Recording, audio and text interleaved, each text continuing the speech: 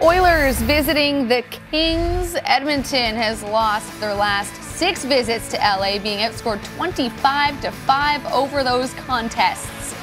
Just over a minute into this one, Tanner Pearson, strong work down low, gets it to Marian Gaborik, who beats Cam Talbot. It's one zip Kings early, late in the first. Oilers turn it over at the Kings blue line. That's never good. Gaborik races in. Can't beat Talbot, but Pearson spins and fires in the rebound. So it's 2 0 LA after 20 in the second.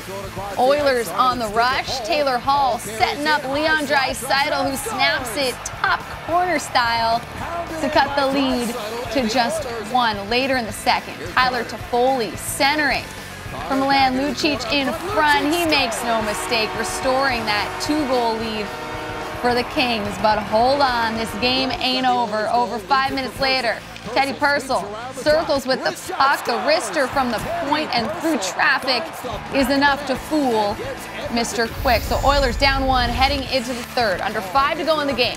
Purcell cross ice for Oscar Klefbom, who feeds Taylor Hall. He chips it and ties the game on his 24th birthday. It's 3-3. Less than two to play. Kings power play expires.